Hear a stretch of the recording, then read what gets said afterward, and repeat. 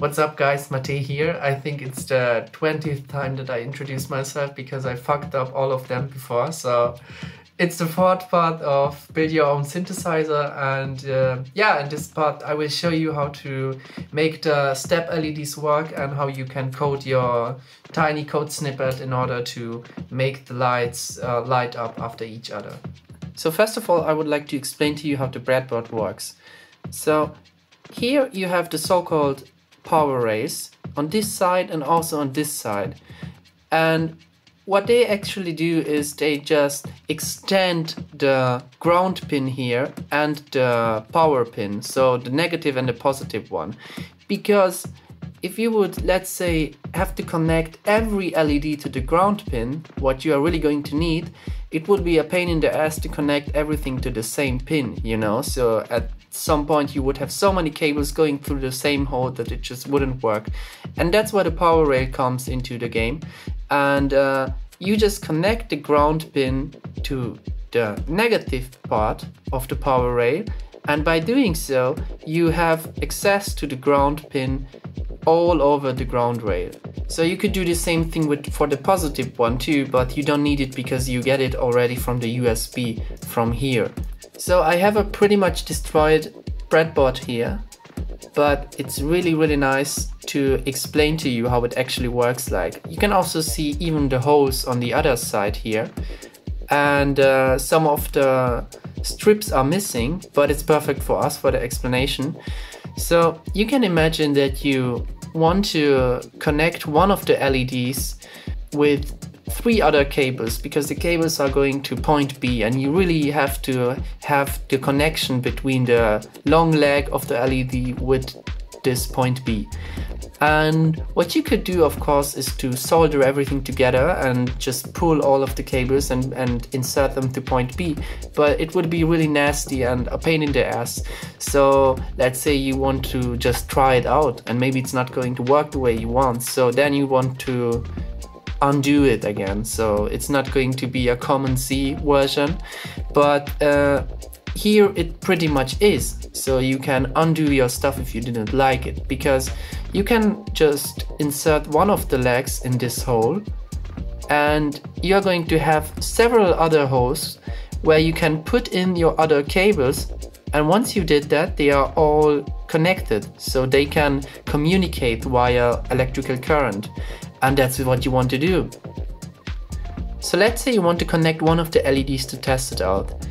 The first thing you are going to notice is that one of the legs is longer and the reason for that is that the long leg is the positive one, the positive lead, and the short one is the negative one. There are also some other words for that, so the long one would be the hot one and the short one would be cold. So you can remember it by thinking about your dick which gets really short in the winter because it's cold and you have negative temperatures. And I think it's a really nice way to remember it. So let's just do it for one of the LEDs. I will just insert it here or maybe a little bit more on the left side so we have more place. And notice that I take the long leg on the right side. So now I'm going to take one of the jumper cables and connect the short leg, which is the negative, the cold one, and which is on the left side, to the negative part of the power rail, as you can see it here. So left leg goes to the negative part of the power rail. And now you may ask yourself, how is it already negative or positive, the power rail? And it really isn't. So you have to connect the ground pin, which is here, uh, at the top corner on the right and connect it to the negative side of the power rail. And now I'm going to do that. It's going to be a little bit tricky because the audio shield is at the bottom, but you can do it here. So now you can see that the ground pin is connected to the negative part of the power rail and this way the pin gets extended all the way through the rail. And this is exactly what we want to, because you don't have to pull this cable to this point, to this pin, but it's enough to insert it here. So it's perfect, it makes your life a little bit easier.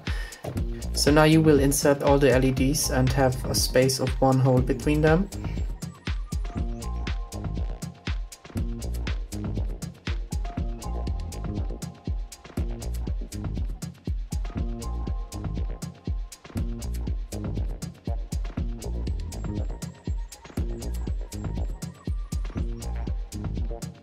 So once you have every LED and their short legs connected to the ground, what you're going to do is you go from the long leg from the right side, so the positive one, to digital pin 33. You can also look it up if you're not sure about the number of the digital pin on the on this paper and uh, you can also google it i mean it's going to be a teensy 4.1 not a 4.0 but besides that it's the same so 33 I go down and here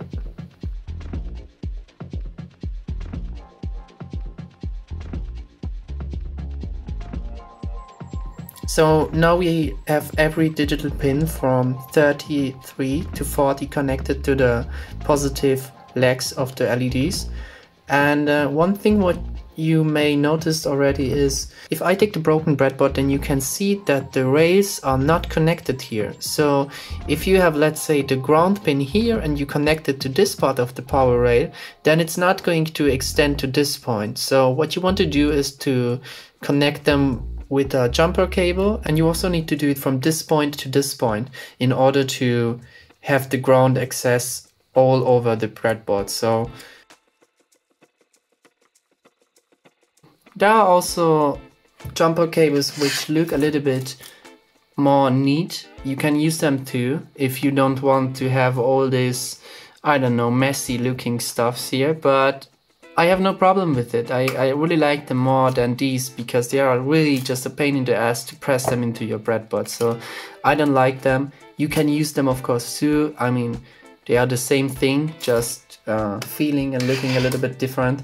So now you are ready to go from the hardware side and the last thing you want to do is to connect it to your computer. So in the next step we are going to check if our system is working. So we will just try to light up one of the LEDs and for that we are going to do what we do all the time and include arduino.h and also we are going to create an integer called led1 and LED1 is going to be the pin 33. So it's going to be the first pin which we connected to the first LED, makes sense. And now you make void setup, which we do all the time. So we are going to write pin mode and inside the brackets we are going to take the arguments LED1. So we do something with the LED1 here, which is at the pin 33 and we are going to set it to output so that it sends signals to the LED. That's basically all you're going to need in the setup function and now you write void loop. This is going to be the function which is going to get executed all the time.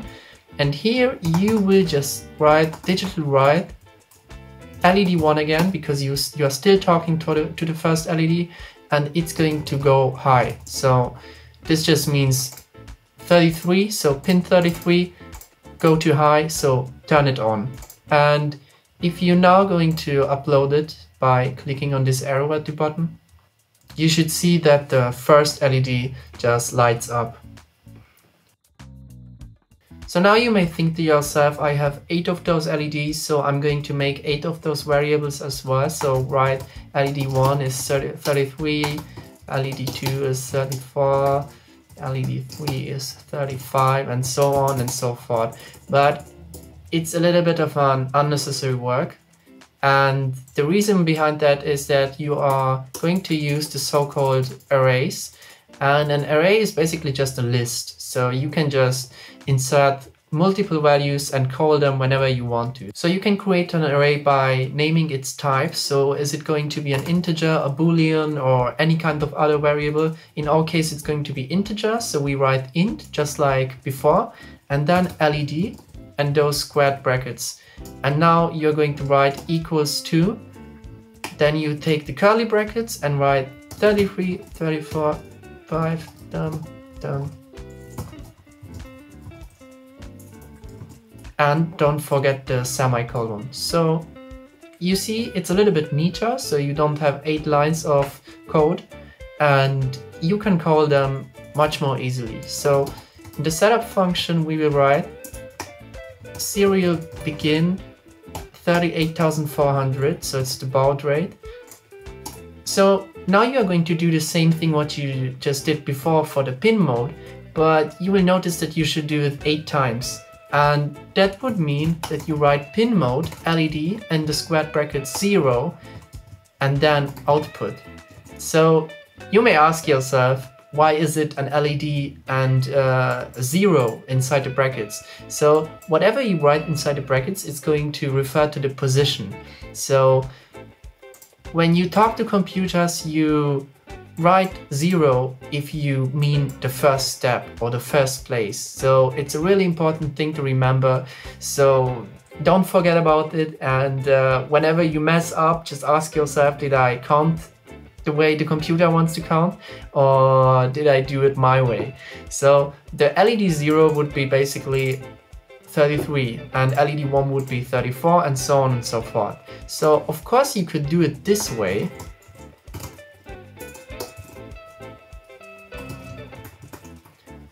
and basically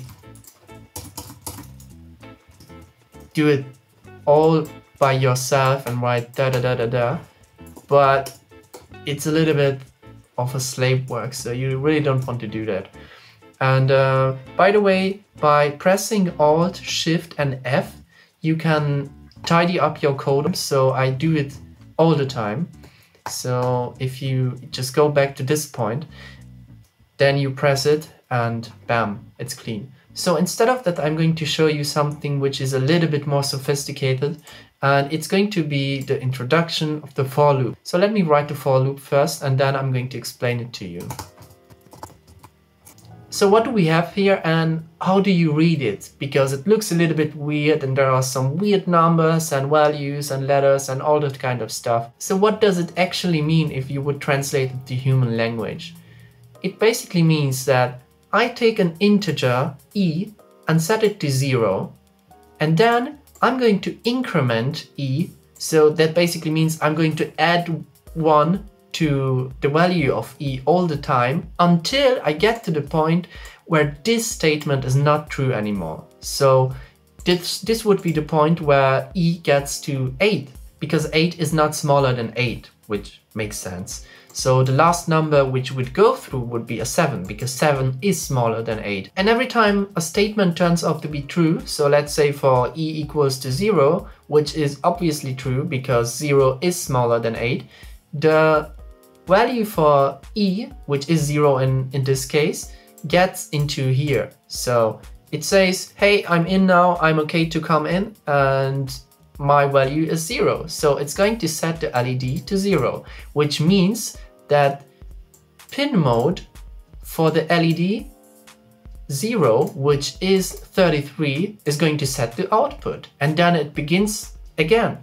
And now it's going to be E equals 1, and it does the same. So for this one, it would be LED 1, and that would be 34, and it's going to set it to an output 2 and it will just loop through. And because the Teensy is incredibly fast, it's going to happen in like, I don't know, one millisecond or microsecond or nanosecond. I'm not sure about that to be honest, but it's going to be incredibly fast and you have every pin set to an output. So it's a really neat way to have it done really fast. So I will give my best to stick to a good habit and comment everything. So the array would be basically just an array of all the digital pins which are connected to the LEDs. Nice. This one would be begins the serial transmission and the for loop would be setting up all of the LEDs, the digital pins of the LEDs to output. So now we go to the next function, which we always have the loop function. And here you can really see the difference. So the setup function is going to be executed once and uh, all of the LEDs or the digital pins are going to be set to an output and it happened once and it's done. But inside the loop function, it's going to get executed all over. So the first thing what we are going to need is an if statement. And let me write first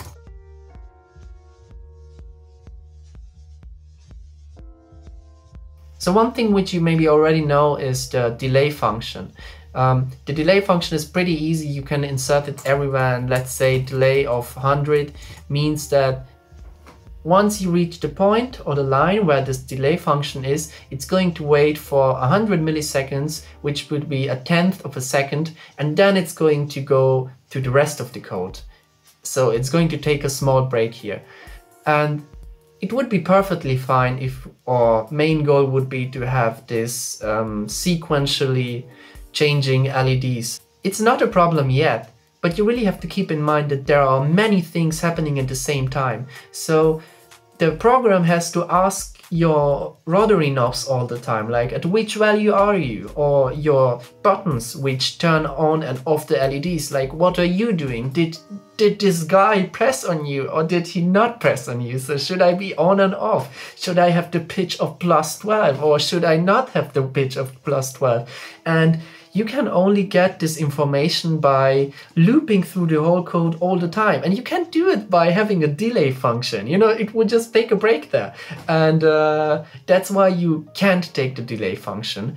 And that's we have to go another path. And that's why we have this if statement with this weird milli stuff. The millis function is actually a function which just counts the milliseconds once your program started. So you turn on your Teensy and you wait 10 seconds and the millis function would give you the value of 10,000 because 10 seconds are 10,000 milliseconds.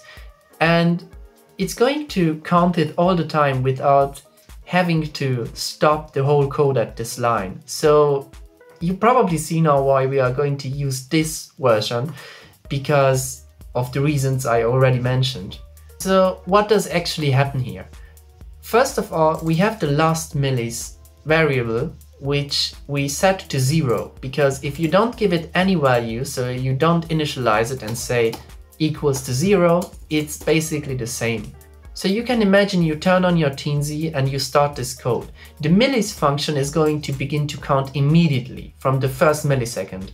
And the last millis is going to be at zero all the time until the millis reaches the value of 101. So we have 101 here and the last millis is still at zero. So it didn't, didn't change yet because it didn't have the chance to get inside of this if statement where it would actually change because we set it here. So it's going to be at zero. And this is the first moment where we have something what is true because 101 minus 0 is 101 and it is bigger than 100. So at this point, after 101 milliseconds, it gets inside of the if statement and it says, all right, now our last millis is going to be our current millis, which would be 101. And please now also increment by one. So the step was zero before because because we just have integer step here and it's the same idea here we could also have equals to zero but we just have it this way and also the, inside the nested if statement, we have if the step is the same, that is what they mean, the double equal signs. If the step is the same as the step number, which would be 8, then jump back to step 0. Because you begin at 0 and end at 7. So 1, uh, 0, 1, 2, 3, 4, 5, 6, 7. Then it just says, all right, you are at 8 and now please for that value go back to 0. So this way it's going to be at the first step again or the at the 0 position. Let me just write it back again. And you can imagine now we are at step 1 and now we go on. So it's counting again. And next time it's going to be true again is the point where millis gets to 202. So it makes sense, right? Because now you have the last millis 101 because it was saved before, the loop before, and it's going to add one to the step again and repeat it until it gets to the point where step is going to be 8 and then it's 0 again and it's going to start all over again. So it's a really, really neat way to build an internal clock without actually using the delay function, which would be a deadly sin in our case. So you really don't want to do it because it would just hold up your whole code. So let's not forget the good habits and just write the comments. So enters the if statement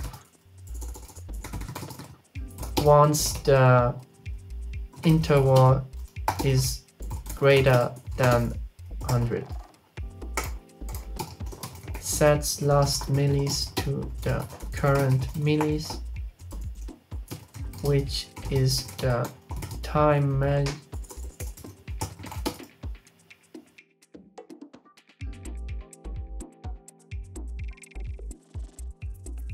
please stick to this good habit and you don't have to write it the same way I write so write it so that you can remember what you did and you will be so thankful to your past self for doing so. So we are going to use the for loop once again which we just learned about and uh, it's going to look the same way like in the setup function or almost the same so you can just copy paste it and don't forget those curly brackets here and let me just write the code first. So in these 10 lines, everything comes together actually what we just learned about. And here you can see the for loop once again. So it's doing the same thing like here. And inside of the for loop, we have two if statements, or to be more specific, we have an if statement and we have an else statement. So let's say if I'm having a good day, then I'm going to meet my friends and else I'm not going to meet them. Pretty easy, right? So that's exactly what the code does. So if e is the same value as step, which would be, let's say, zero, if we are at the first step, then it's going to enter the if statement and set the LED zero, because e is zero at this moment, to high. So it's going to turn on. And for every other value, it's going to be else for e equals 1 or 2, 3, 4, 5, 6 or 7. So except for the step value, which is in our case 0, everything is going to be set at low. So step 1, 2, 3, 4, 5, 6 and 7.